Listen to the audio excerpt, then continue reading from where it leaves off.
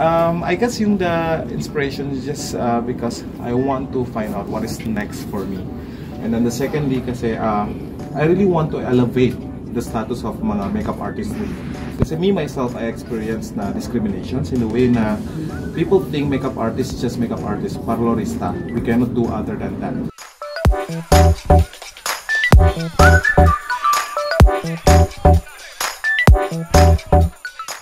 Hi, I'm Albert Kurniawan and I'm a makeup artist. I'm Indonesian and definitely um, kilala nyo ako uh, if nakikita nyo ako sa um, ginagawa ko si Heart Evangelista, Pia Worspak, Tony Gonzaga, Alex Gonzaga, and Megan Yang. So, um, lately I launched my uh, makeup product, or uh, makeup line. It's Tevian. Uh, I named Tevian from my mom's name. And today I'm going to do a little bit of makeup demo for you guys.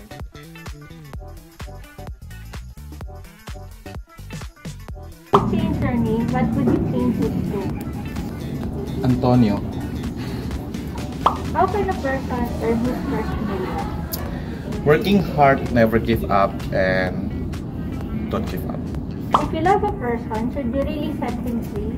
Um, me personally, um, I will not set them free because if I love the person, I will fight for my love, right? So definitely, even it's your friend, best friend, and your love life, do not give up on them. Fight for for it. Fight for your love. What else in life should be free? Travel. I, I really hope one day that uh, to travel is free.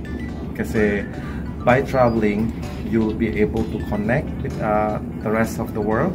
And then when you see or their culture, experience their culture, you'll be able to understand uh, from other perspective. If you'd be locked down forever, where will it be and who do you want to be If I want to be locked down for forever, I want it in Indonesia, in my family house or uh, in my parents' house because um, this pandemic made me realize na Travel a lot, uh, especially during Christmas, New Year, so especially yung mga important uh, days and even their birthdays. So I really hope na kung lockdown for forever, I want to make sure yung maximize ko lahat yung panahon ko with them. If you could trade lives with someone, who would it be? I want to trade it with Pablo Escobar. I really want to trade with Pablo Escobar just because I want to understand him. Why? Mm. Because I um I was able to visit Mexico uh, a few months before the lockdown, and I went to one of his mansion. So there's a explanation of everything, and he's actually parang ano siya eh, uh, he donated to yung mga ano ya village niya, mga ganon. So medyo semi Peter Pan siya. And so I would like to ask lang bakit ginagawa niya yung mga ginagawa niya. 'Di ba? And I want to see to and to have the feeling also to be able to understand, no? Actually dalawa sila yan eh. Pablo Escobar and uh, Saddam Hussein. So silang dalawa yung gusto ko. Uh, I mean, I just want to feel and to see the the other side of the table kung anong perspective nila, anong utak nila, yung utak nila. What's the best song that could lift the spirit? Beyonce or BTS. Beyonce yung Run the World. Anyway, any BTS kasi alam mo, I'm not uh, hindi ko lang alam bakit I'm in the mid-30s pero kung sa umaga narinig ko BTS parang napapart, gumigising yung diwa. So, yun. How do you lift yourself up when you're down? hanging out with friends. Um, I guess this is not uh, something that I hide as I talk to my YouTube channel that I I have anxiety. So every time the anxiety attack me, I make sure that I'm being vocal about it and uh, talk to anyone near me about the situations and to my friends and uh, I guess being able to uh, to communicate what you're feeling it's giving me uh, or it's uplift the mood a little bit kahit paano. What's the most Instagrammable place? The one that I've been, um, definitely I like Sintra. Wow. Sintra Castle in Portugal. Uh, it's parang Lego house, parang so beautiful. Uh, and then the one that I want to visit, definitely uh, Rio. What's your most favorite Instagram post? Helping people, na not not to help me helping people ipopost ko. It's more like um, encouraging people. Na for example, I know naman like uh, it's hard right now. So I know like a lot of makeup artists na nawawalan ng trabaho or napapawasan ng trabaho because nawala ng mga events, mga ganun. So when my post is really giving them the the ano the confirmation that they are not alone. So it's it's something na I can be proud of. Either TikTok or Instagram? I tried TikTok, but it's so much effort. So siguro for now, abang di wala pa ako masyadong time, so Instagram na lang muna. Tsaga na lang muna ako sa Instagram. Android or iOS? um, I've been an Android user for uh, forever, so I guess Android. What's the best way to deal with bashers? Fight or flight? For me, the best way to deal with basher is actually to give the time to them. So, I mean, bashing is actually meaning na ang daming ka naipon na angst. Let, it, let them out. Ano, pabayaan mo sila mag-out and out and out kasi papatay rin yun kung nalabas na siya. Nakakahinga na siya.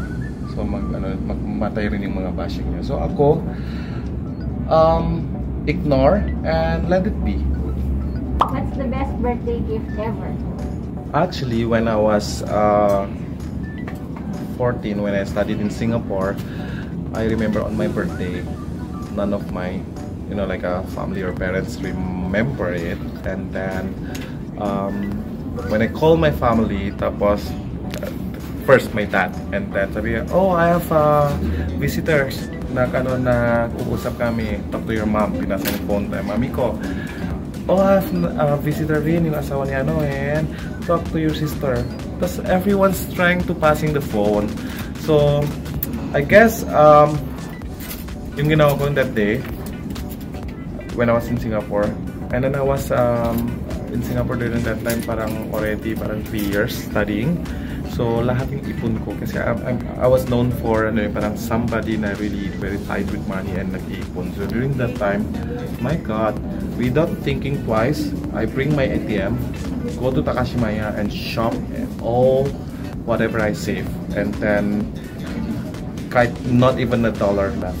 So, um, I guess the best gift that I have received after that is the following year when I explained to them what I felt. So after that, the following year, they they they they, they spend ano kahit sa Singapore ako, sa Indonesia sila, um, they give me time and they they they greet me mga ganun. So until now, non-stop yung ano nila, abala nila sa birthday ko. Char. Hmm, balik na naman yung question na yan. You know what? Pre-pandemic yung buhay ko. Kung 8 a.m. ako sa work, all time ko, 5.30 or 6 a.m. na sa gym ako. Lunchtime, I'll do CrossFit.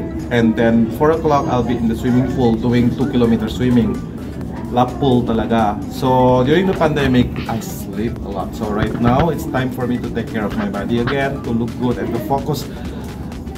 Guys, before everybody else loving you, you should love yourself. And, you know, like, do everything for your body first, you know. So, definitely, I'll choose exercise for now. Hallyu or Hollywood? That's something that I cannot choose. But for now, siguro Korean. Pampasaya ko eh. Parang yung Korean food gives you joy. Kahit as simple as kimchi. Tapos igisa mo lang sa fried rice. Nabubuhay ka na agad. Money or followers? Honestly, money. Because followers, they don't pay for your bills, credit card, Meralco, and everything else.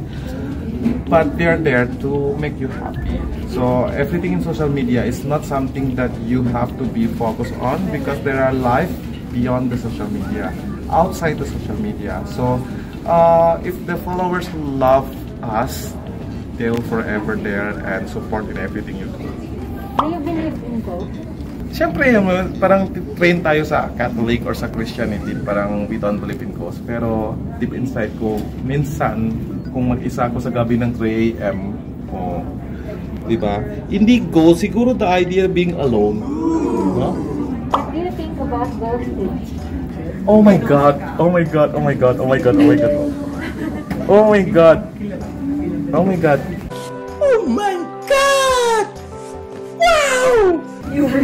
It happened to me. I know. Not it happened to me. I did that to someone before ghosting. I know it's bad, but now feeling ko nabayad ko naman yung mga ano yung mga karma ko dyan. So ngayon I'm happy. And I I guess now um mas madali na ngayon mag ano, mag-confront or magsabi na ayaw mo magsumipot or ayaw mo na compared to before, 'di ba? What's your idea of perfect happiness?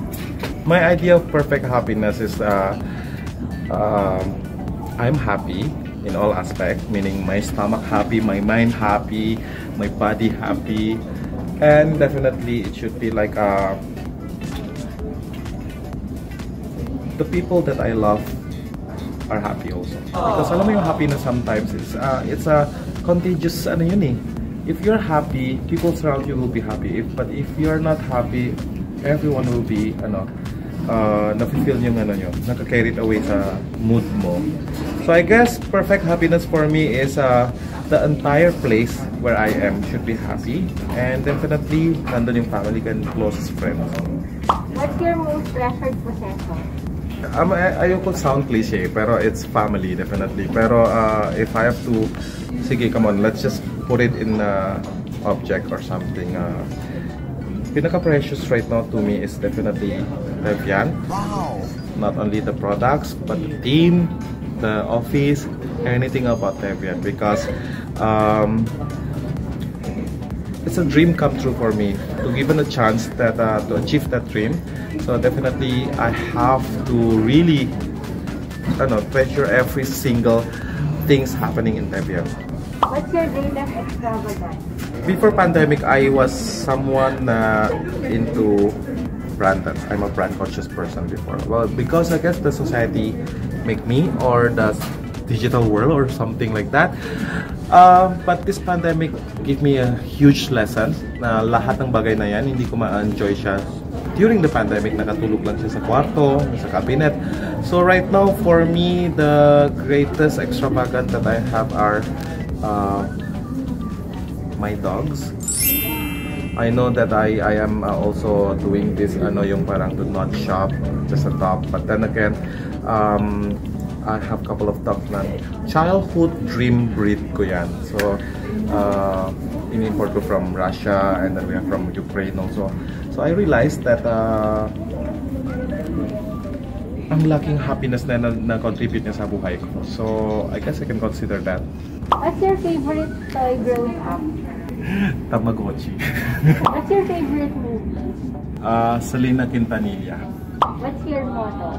My motto is uh, definitely uh, I don't have to uh, explain myself. So let my work uh, speak up for itself. What's your greatest fear? Losing the people that I love the most.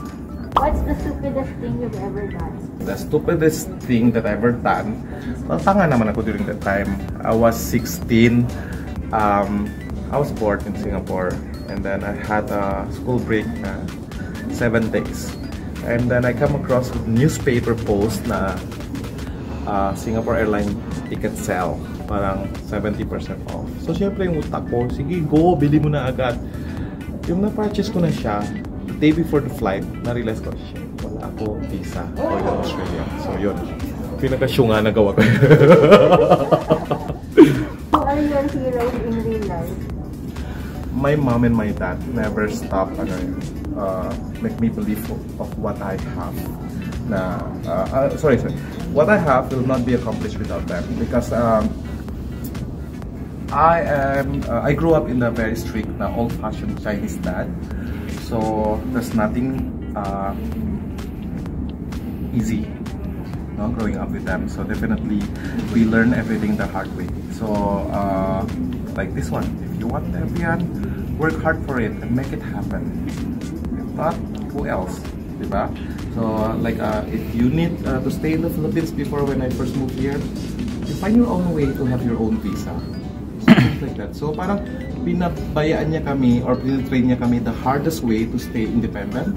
So, I guess, um, now, I'm super thankful to have that kind of set of parents. So, uh, hindi sila yung uh, parents na giver, yung parang nabibigay. So they train us, yung mga children nila, to work hard and to earn everything by your own. So I can consider talaga sila, sila pinaka anong hero. If you'd be a superhero, what, what will be your superpower? If I have a superhero, gusto ko yung ano, special power ko, yung parang Doraemon. Have a magic door.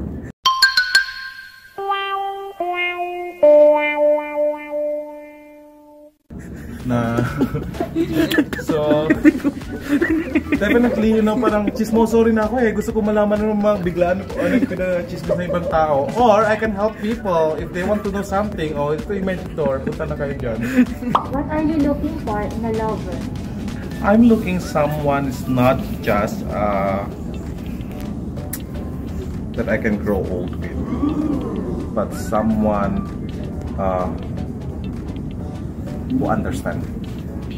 Not me understand every single process of the relationship so because if I said na uh, to understand me it's gonna be selfish no? so relationship is more like a give and take and adjusting to each other so to understand the process of every process along the way of the relationship If you would be best friends with a celebrity, who would it be? I already have best friend with Harvey Evangelista. So definitely, if this is just what if, um, my God, I really want to be best friend with Bella Hadid, uh, uh, Kendall, and definitely, uh, oh my God, bumalik ako tulit sa ano si uh, Selena. Hindi Gomez ha, Selena Quintanilla. So, I really want to know her. I mean, like, uh, I, I love her story. I love her songs. I, I love everything about her. Would you give an ex a second chance? No, that's why it's an X. Diba? X na siya sa lahat. So, kaya nga kayo, before kayo maging X, isipin nyo na talaga. Kaya nga, balik ulit yung sinabi ko kanina, it's always never give up. So if you love person, uh, if you love the person, fight for your love. So ibig sabihin, kung nalaban mo na lahat, na fight mo na everything, kung hindi talaga kaya, edi ex na talaga siya. So wag mo na balikin. Sayang yung buhay natin, sayang yung oras mo. Who is your thought ba?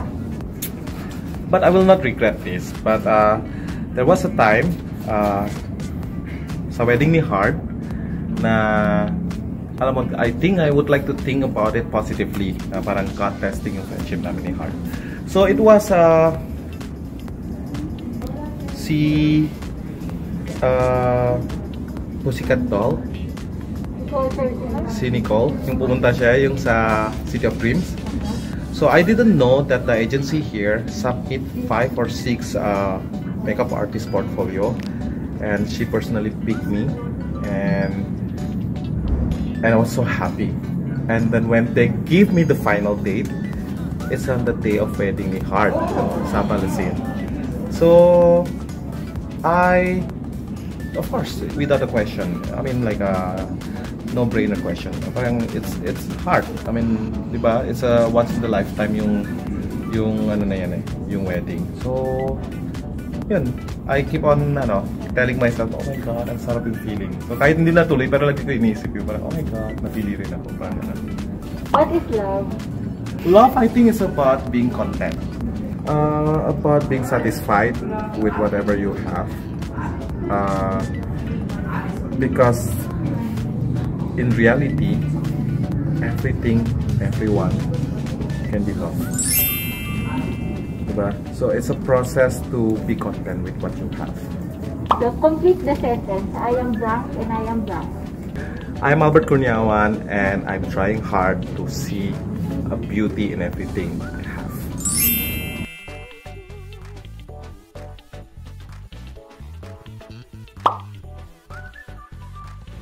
Anong reaction? reaction ko? Oo. Ah, well, at syempre nahihiya ako kasi hindi ako ganun katangkat, uh, diba yun na. Pero yun nga, I never would like to believe. Pero until yung pumunta ko kay doktora ni, ay bahay ni doktora. Tapos yung ginawa ko si Jinky there sa bahay nila at si ano dati, ah, Crystal. Tapos yung mga yaya, nagpo-photo sa akin. So sabi niya, sir sasabihin ko kasi hindi sila maniwala may kamukha si ano. So sabi ko na, oh my god. So ibig sabihin, totoo pala yung sinasabi ng mga tao all this time na kamukha ko daw.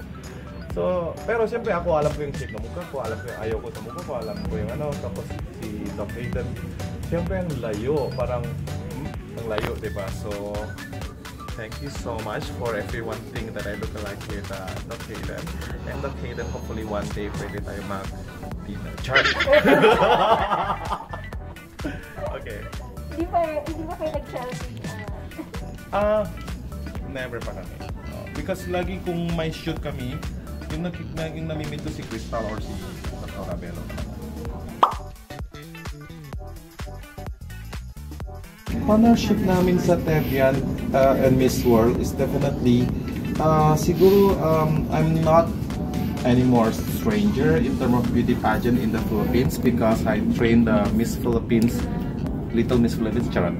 Uh, Miss Philippines Universe since uh, Venus Ra and then uh, Janine Tugunon, Shamsi Sup Sup. I groom them from how they should look, you know, like a makeover. And then Megan Yang, and then uh, uh, Pia, MJ, uh, lahat dumaan sa akin din yan. And then Ara Arita, Maxine. Basically, almost every year. So when I have a makeup brand and then um, when this opportunity comes, so i-grab ko siya because um, I know the feeling na yung lahat, yung mga candidates before the previous year and panahon nila Venus na ano, lagi yung concern nila parang um, hopefully a real artist na pinapadala to work backstage. Because during that time, normally, uh, sponsor salon, and then anyone from that salon available, yung isa lang nila. And then some of them, not even a makeup artist, some of them, kunyari like, uh, athlete. So, uh, kawawa naman yung mga girls where beauty being judged, mga ganun. So kami, so sabi ko, sige, I'll help you guys curate uh, a strong and uh, ano, bright artist to beautify the candidates. So, and of course, um, what I like the most, uh, why Miss World? Because Miss World is all about beauty with a purpose. So, like what I said earlier, Typian is like a not only uh, your ordinary color cosmetic brand, but it's also brand with heart. So, um, I super love yung uh, ano nila ngayon. Purpose nila is to raise uh, awareness to give more education for the Filipino. So with that, uh, in Tevian we collaborate and we curate uh, bundles that the ladies can promote. Um, so portion of the sales will go for the charity that Miss World uh, or uh, Miss World Philippines doing right now to promote educations and give uh, education for more Filipino. And definitely for the ladies naman, yung effort nila na po-promote yung bundles na yan, definitely uh, the highest number of vote of the highest na, uh, number of bundles na uh, sold using their unique code, uh, definitely fast track sila to the uh, to the top. So parang na-secure na nila yung slot nila to be top 20 ba? Top 20.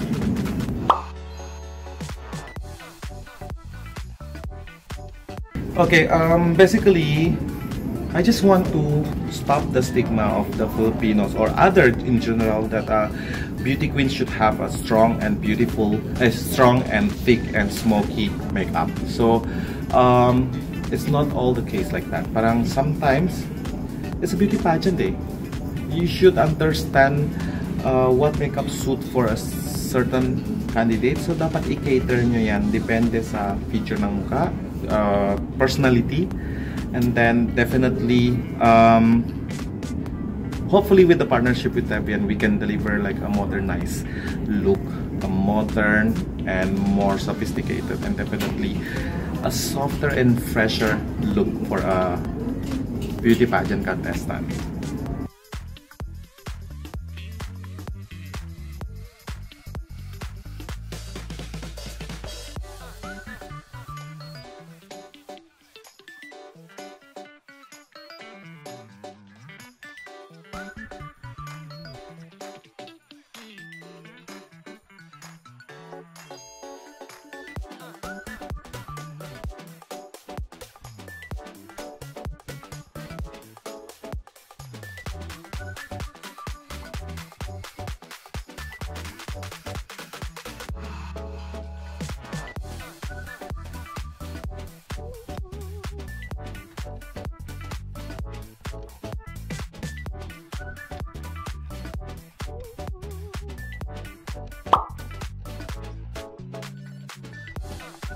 Um, I guess yung the inspiration is just uh, because I want to find out what is next for me.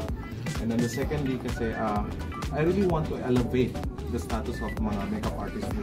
Kasi me myself, I experienced na discrimination in the way na people think makeup artist is just makeup artist, parlorista. You cannot do other than that. So, um, I hope with Tevian na um, I can show to other makeup artists there's nothing impossible uh, if you really put your heart and focus to achieve it.